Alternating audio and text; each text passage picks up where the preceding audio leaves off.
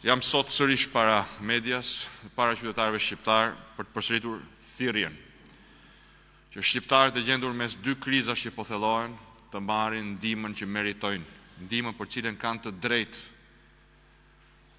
të kenë mbështetjen dhe paratë e shtetit nga taksat që i kanë paguar këtij shteti dhe kësaj qeverie për një kohë të gjatë.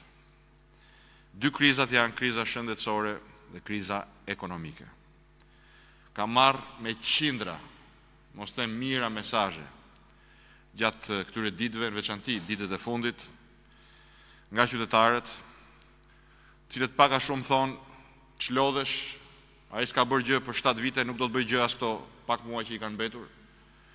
Dhe në pamundësi për t'i kthyer përgjigje secilit prej mesazheve, duke i falënderuar për interesin dhe për mbështetjen për planin tonë me pesë pika kundër krizës, dua t'ju them se nuk do të lodhem sepse situata po rëndohet ditë për ditë. Ndaj nuk do të lodhem duke përsëritur kërkesën që shteti shqiptar t'ju kthejë qytetarëve shqiptarë sot që kanë më shumë nevojë se kurrë paratë e taksave të tyre në formën e mbështetjes që kanë sot nevojë në formën e mbështetjes që po merr sot qytetari i Kosovës, qytetari i Maqedonisë Veriut për të mos folur për qytetarët e vendeve të tjera.